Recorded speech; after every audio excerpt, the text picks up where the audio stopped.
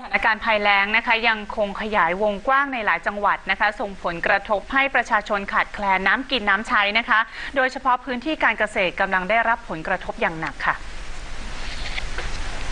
เกษตรกรชาวนาที่อาศัยอยู่บริเวณริมแม่น้ำสายหลักในพื้นที่จังหวัดนครสวรรค์ได้เร่งสูบน้ำเพื่อเยียวยานาข้าวที่กำลังประสบปัญหาภัยแล้งอย่างต่อเนื่อง ล่าสุดระดับน้ำของแม่น้ำทุกสายเข้าขั้นวิกฤต เบื้องต้นนะคะทางสำนักงานชลประทานที่ 3 จังหวัดนครสวรรค์ ได้ขอความร่วมมือให้เกษตรกรชาวนาสูบน้ำเพื่อเยียวยาข้าวที่ปลูกไว้ก่อนหน้านี้เท่านั้น เนื่องจากปริมาณน้ำในเขื่อนหลักทางภาคเหนือมีไม่เพียงพอ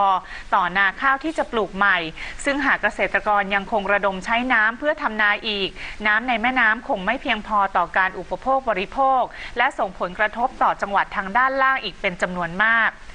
ส่วนสถานการณ์ภัยแล้งที่จังหวัดสุขโขทัยยังคงส่งผลกระทบต่อเนื่องเป็นวงกว้าง นอกจากราษฎร 6 อำเภอได้รับความเดือดร้อนหนักพื้นที่การเกษตรเสียหายรวมเกือบ 1 0 0 0 0แสนไร่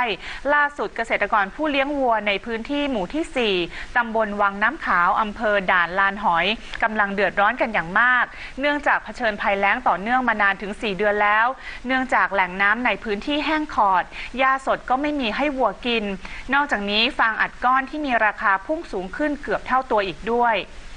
ขณะที่จังหวัดอ่างทองเกษตรกรชาวสวนกล้วยในพื้นที่หมู่ที่ 3 ตำบลคลองวัว อำเภอเมือง กำลังได้รับผลกระทบจากภัยแล้งที่ยาวนาน ฝนไม่ตกต้องตามฤดูกาลและชลประทานชะลอการจ่ายน้ำ ส่งผลให้สวนกล้วยจำนวน 8 ไร่ แห้งเหี่ยวยืนต้นรอความตาย และส่งผลทำให้รายได้ลดลงจากการตัดใบตองนำไปจำหน่าย จากปกติได้วันละ 100 กิโลกรัม ในช่วงนี้ลดลงเหลือวันละไม่ถึง 30 กิโลกรัม และมีแนวโน้มลดลงลงอย่างต่อเนื่องหลังไร้น้ำหล่อเลี้ยงค่ะ